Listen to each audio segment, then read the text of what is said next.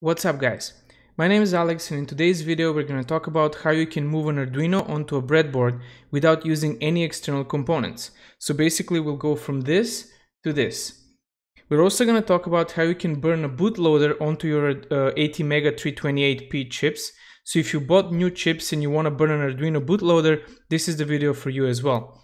Finally, we're going to take a look at how you can use an Arduino to burn some code onto the ATmega chip once it's on the breadboard. So if any of these topics uh, interest you, stick around.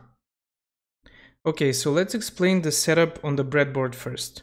So I'm just gonna move the Arduino out of the way for a second. Um, as you can see, the setup here is pretty simple. Uh, I've bridged the, the power and the ground lines over here so that I can have them on both sides.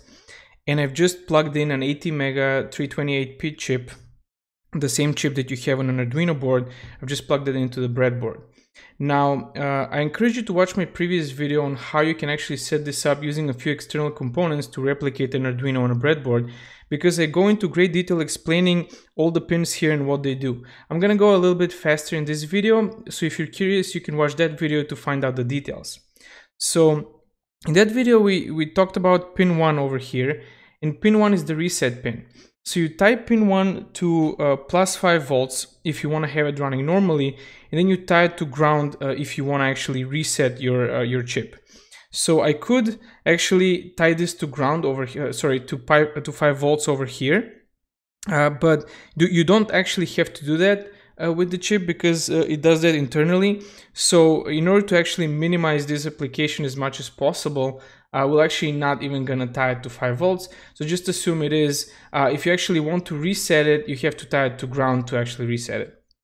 Now, uh, pins 7 and 8 over here are the power to the ATmega chip.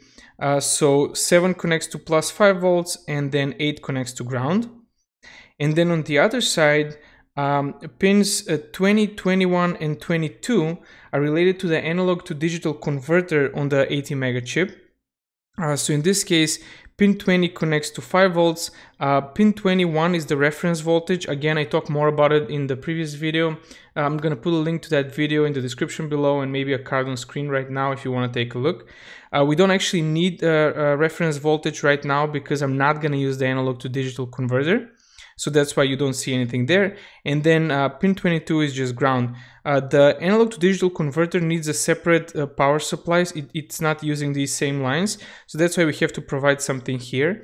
Uh, if you're actually going to use an ADC, you need to uh, provide the plus 5 volts through a low pass filter. Again, we're not going to use in this application, so we're just tying them to 5 volts and ground, and, and that's basically it. So after you have all of this set up, you're basically ready to run an application onto this uh, ATmega chip. Now you may be wondering at this point what's the catch, right? Because in our previous video we talked about how you need a 16 megahertz oscillator here, a couple of capacitors, a couple of resistors, stuff like that. And over here we don't have anything yet. I'm saying that it's a it's a complete uh, application of this chip. Well, uh, there's a little bit of a trade-off here. So the Arduino as you have it here, or the ATmega chip here, runs at 16 megahertz. When you're converting that to run on a breadboard using a 16 megahertz oscillator, uh, it runs obviously at the same speed. However, uh, kind of a little known fact about these chips is that they actually have an 8 megahertz internal oscillator. So if you're willing to make the trade-off to run your applications at 8 megahertz instead of 16 megahertz, then you can avoid putting in that oscillator chip uh, sorry, the oscillator uh, circuit with the little oscillator uh, crystal and the two capacitors. Uh, you can avoid putting those in and you can run it uh, as is. Now, the trick here is that by default, uh, these chips, or rather these chips that come with the Arduino, have a bootloader that is set up to run with the 16 megahertz chip. Um, meaning, in order to run it in this configuration with the 8 MHz chip, you actually have to burn a different bootloader uh, to get that up and running. And that's basically what we're going to take a look at, at, how to do next. Uh, this is also useful for people that have bought new chips that don't have an Arduino bootloader on it at all. So I'm going to explain to you guys how you can burn a proper 16 MHz bootloader if you wanted to in order to set up new chips to be able to use them with an Arduino. So the first thing you want to do is to download the files for the Arduino bootloader. If you go into the description below, I have three links in there, which are the bootloader files, uh, depending for which version of the Arduino IDE you're using.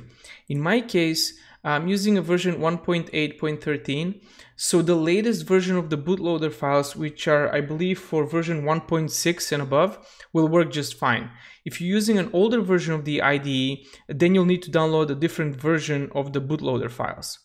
Once you download uh, one of those uh, bootloader files, uh, you'll end up with a, um, uh, with a zip uh, with the contents that you see over here. Uh, so there's this breadboard folder and there's a couple of folders underneath and a couple of files underneath that. You'll need to extract that into your Arduino sketchbook folder and you can find the location of that if you open up your IDE and go into File, Preferences. This is the sketchbook location. So if you just go to this location, your hard drive, and I have it open here, I'm gonna close this for now, and I have it open here, uh, this is where your sketches go. If you don't have this hardware folder, you can just manually create it, just make sure it's called hardware exactly as you see here, lowercase. And then if you enter that thing, this is where you will extract the contents of that zip file with the uh, bootloader files. So if you see here, uh, these are the files that, that uh, we extracted. I'm just gonna go back. Um, this is what's gonna be in the zip. So this breadboard folder, and this is the same folder that I extracted over here. So just put it in there exactly as it is in the zip file, uh, and you'll need to restart your IDE so that it actually can recognize the bootloader uh, in there and you can actually use it. Okay, so once that's set up uh, and you've restarted your IDE, uh, you're gonna end up with this guy over here.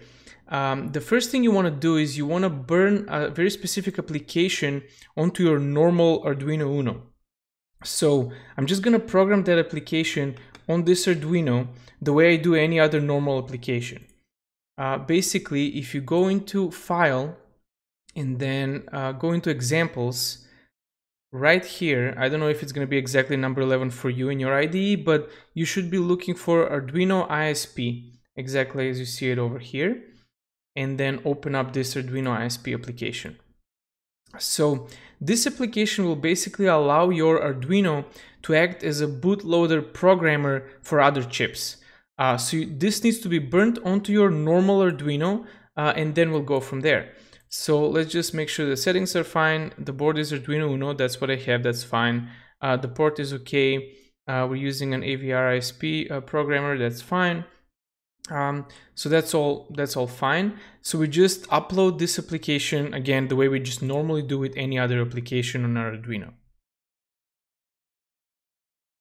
Okay, there we go, that's done. Uh, so now we actually have to connect the Arduino. Let me just go back to it. Now we actually have to make the connection between the Arduino board and the extra chip that we have on the breadboard. So let's take a look at that. Okay, so I have a few jumper cables here. Uh, so what I'm gonna do is I'm gonna start from pin 13 on the Arduino side. So right over here, uh, let's see, that's pin 13. And then pin 13 goes to pin 19 um, on the ATmega chip that's on the breadboard. If you remember from the previous video, uh, the pin numbering on the uh, on the chip goes from this little notch over here. You count uh, the upper left side is pin number one, and then it goes down to three, four, up to 14, and then it goes up from here 15, 16, and then upwards up to 28. So pin 13 over here uh, needs to go just below uh, just below pin 20, so pin 19, just below where you plug this into 5 volts. So I'm gonna plug that in here uh, to pin 19 of the chip. Uh, again, we said that counting starts from here, so it's 15, 16, 17, 18, 19. Um, all right, and now the next one is uh, pin 12 on the Arduino goes uh, to pin 18. So the next pin in line going this way. Uh, so basically you're just uh, you're just going uh, one pin lower on the Arduino side and then one pin lower over here and that's going to be the pattern for everything else. Um, so pin 11 here is going to go to the next one. So that's pin 17. Uh, those are going to be connected like that. And then pin 10 on the Arduino side is going to go to the reset pin of the ATmega chip, which is pin number one. So that's the pin right over here. Making sure I didn't miss a pin, yeah. Uh, okay, so uh, again, just to recap, 13 goes to 19, 12 goes to 18, 11 goes to uh, 17, and then 10 goes to 1, pin number 1, the reset pin. Um, now all we need to do is to actually provide uh, power and ground for, uh, for the chip as well. And the Arduino has pinouts for this on the left side over here. Uh, so this is the 5 volts pin. And then this is the ground pin. And they're labeled 5 volts and GND. Um, and I'm just going to connect positive positive and negative to negative over here. Just like that. Okay so with that the physical connections are done. Now we can move to the Arduino IDE to actually burn the bootloader on there. So in here there's a couple of things we need to do. Uh, first of all uh, it doesn't matter that I have the oops, sorry about that. It doesn't matter that I have the Arduino ISP uh, program opened up because I'm gonna burn a bootloader now not an actual program um, if you go into tools board now you're actually going to switch from Arduino Uno here to this guy. And this is the um, uh, bootloader that we just added. So if you're not seeing this option here uh, breadboard AVR and then the uh, ATmega with 8 megahertz internal clock if you're not seeing this option that means that the process that I described earlier where you download the bootloader files and you install them uh, is wrong uh, and the first thing you need to be aware of that you need to restart the IDE after adding those files so that this option shows up. Uh, if it's still not showing up, uh, leave a note in the comments and I'll try to help you out. Uh, there's really nothing else to it unless you chose the wrong version of the bootloader maybe for your IDE version. Uh, be careful of that as well. Uh, if it's not showing up, add a comment, I'll try to help you out specifically. Um, in any case, so once you see this option here, you select it. So you see now the board has changed. Uh, the port number is still going to be the same uh, for me, that's COM3. Now, uh, this is the important part. For programmer here, you'll change it. Uh, this is usually the default uh, with the Arduino IDE. You'll change it to Arduino as ISP. Now, another important note is over here, there's Arduino ISP, and then there's Arduino as ISP. This is the one you want to select, Arduino as ISP. So once uh, those are those are selected, now you can go to burn bootloader. Um, again, it doesn't really matter what you have over here because this is not the application that you're programming right now. You're burning a bootloader, and specifically you're burning the 8 megahertz internal clock uh, bootloader. So I'm just gonna click here. And as you can see here, I actually got an error. And this is a very common error that you might get if your chip is already configured to run at 16 megahertz. So you see here it says invalid uh, device signature. What you actually need to do, unfortunately, in this case, is to add that 16 megahertz oscillator in the two capacitors like in the previous video. And you'll only need to do this once so, so that you can configure the chip to run at 8 megahertz and then you don't need them anymore. But let's do this so that you can see what happens. So I'm just going to add a 16 megahertz oscillator between pins 9 and 10 right here go. Uh, and then I'm gonna add two uh, 22 picofarad capacitors uh, between uh, those pins 9 and 10 and ground.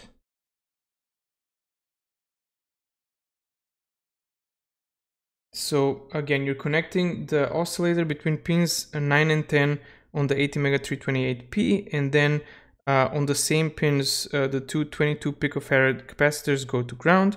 Uh, now, uh, having set this up, let's go back to the code and try this again. And I'm just gonna go to Tools, Burn Bootloader again with the settings as, as I had them before. And now we actually got a success message. So if you bought an empty ATmega chip, uh, chances are this is going to work uh, the in the first try without having to do this step. If you already had a chip that had a 16 megahertz bootloader burnt on there, you might need to add the oscillator just so you can burn an 8 megahertz uh, bootloader and then you can remove those because you won't need them. So at this point, um, this chip is already set up to run without the oscillator. So I can remove the oscillator and the two capacitors that I added because I won't need those. And that's pretty much it. At this point, I can um, I can disconnect the power. And I can disconnect all of these connectors. And this is now working 8 megahertz ATmega 328p chip. Now, uh, the next question is, so how do we program something on there? Um, so in the previous video, I actually showed you how to use something like this, which is a USB to serial uh, converter. Um, it's um, it's an FTD uh, 1232. In my particular example, there's a couple of different versions of these. Um, and you can refer to that video to take a look at how you can how you can do that. But now in this video, I'm actually going to show you how you can use the Arduino itself to act as a programmer for this chip on the breadboard. Uh, just so you guys have uh, different ways of doing that, uh, and I think it's helpful to know. Okay, so the first thing I'm going to do is I'm actually going to disconnect the Arduino from power. I'm to disconnect it from my PC. Okay, there we go. And uh, I need to actually remove the ATmega chip from the Arduino. Uh, this is because when you're actually using the Arduino IDE to program an application onto it, um, what's happening is the Arduino is going to program this chip by default. Uh, if it doesn't find that chip, then you can actually program something else that's on a breadboard. So you want to make sure to remove the chip from the Arduino before you try this procedure. I'm just going to use a screwdriver and I'm going to lift it up uh, carefully on both sides and you don't want to rush this too much just so you don't bend the, the legs of the chip.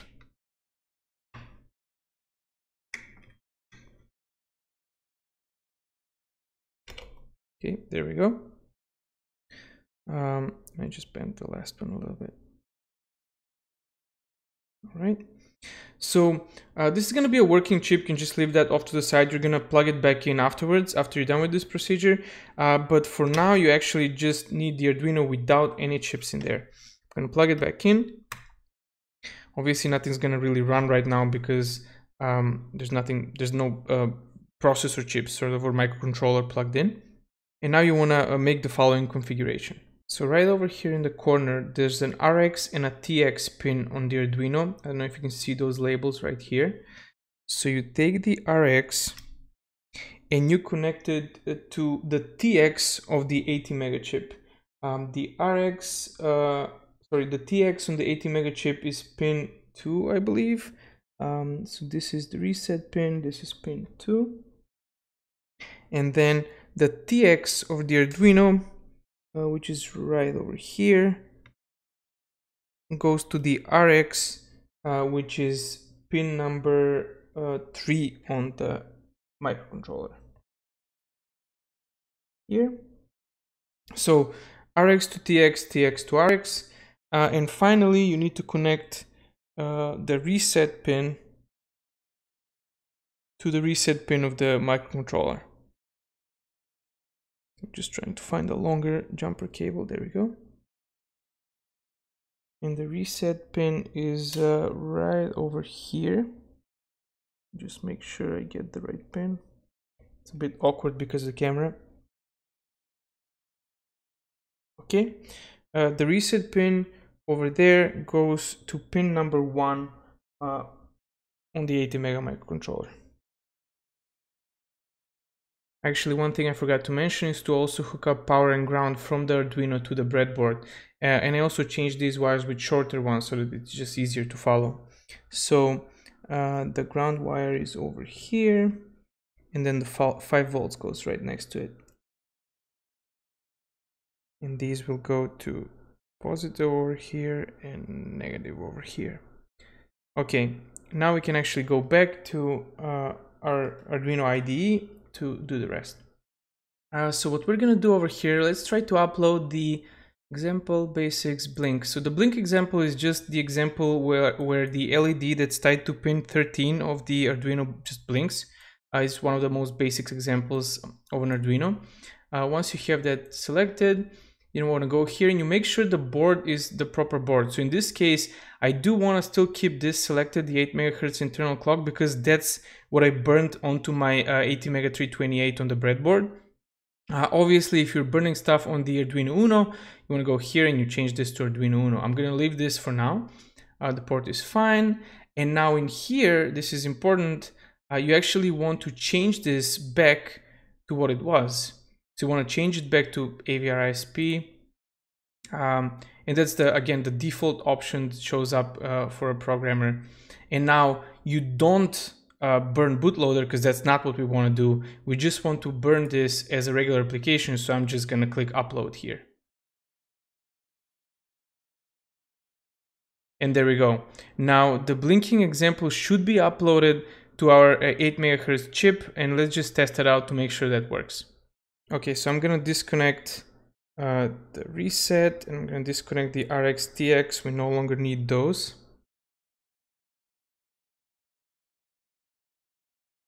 Uh, I'm gonna leave the power wires connected to the Arduino uh, just so I can supply the 5 volts needed to run the ATmega 328P.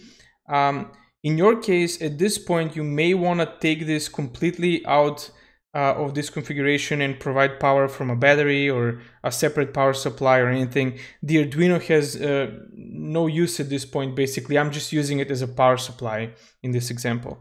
So we just need to hook up something to uh, pin 13. This is pin 13 over here, which is pin 19 actually uh, on the chip over here. Okay, so I'm gonna take a little jumper cable from P19 and I'm gonna hook it up here.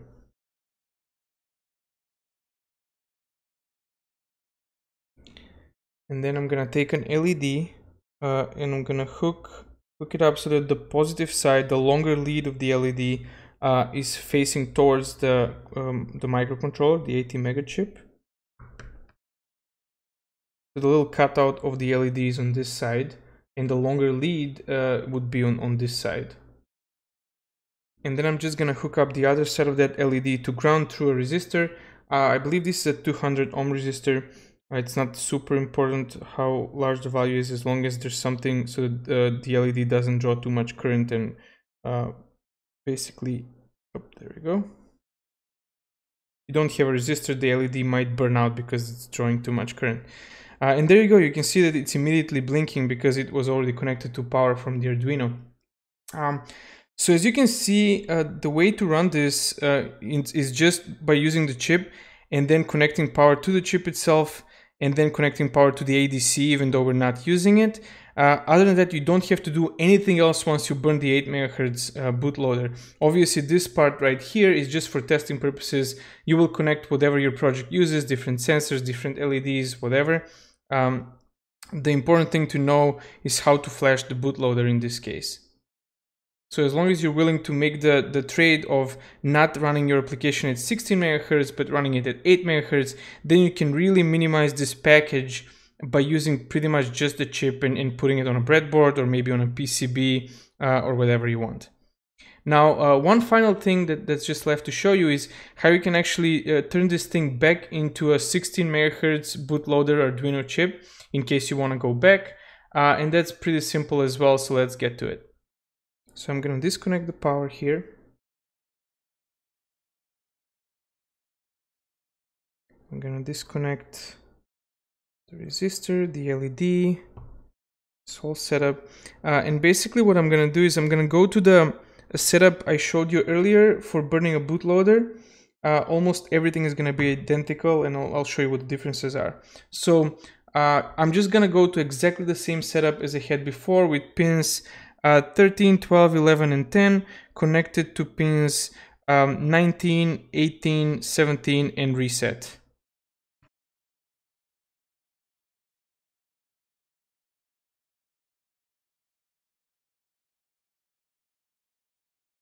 Okay, that part we already saw. Uh, we can also connect the power backup. So I'm just to connect positive here, negative there. I actually made a small mistake. It's a pin 10 that actually goes to the reset pin, not the reset on the Arduino. And now one final thing is we actually have to reintroduce the 16 megahertz clock in order to burn the 16 megahertz bootloader back on there. So as before, we're going to connect the 16 megahertz crystal oscillator uh, between pins 9 and 10. And then we're going to connect the two 22 picofarad capacitors uh, between those pins and ground.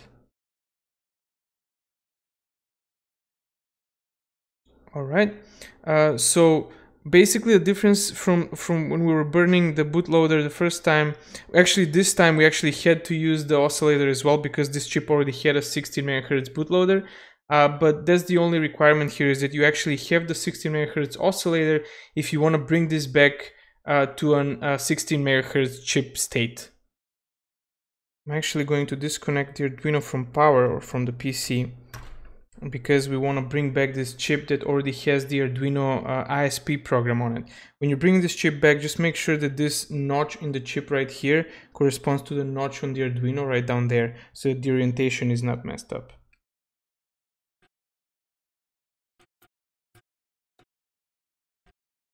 And now I'm gonna plug it back in. So we already had the uh, Arduino ISP program built onto here. Uh, if you didn't, if you're just following this or starting from scratch, uh, what you need to do is you open up uh, examples, Arduino ISP, Arduino ISP, and you burn this onto the Arduino chip first before doing anything else. Um, so I'm just gonna do it just to show you. So uh, in here, now I'm gonna switch the board to Arduino Uno because I'm actually gonna program the, the chip on the Arduino, not the chip on the breadboard. Uh, and then this will be COM3, that's fine. And AVR ISP, that's also fine. And I'm gonna upload. So this makes sure that the Arduino uh, application that's running on here is set up to run um, the Arduino ISP. Now we go here and remember how when we were burning the 8 megahertz bootloader, we changed the board to um, ATmega 8 megahertz over here well in this case we're going to leave it as at arduino uno because now we want to actually program the chip that's on the breadboard to run at 16 megahertz which is what this is uh, this is again fine over here, we have to go back as before to Arduino as ISP. And we go Tools and then Burn Bootloader.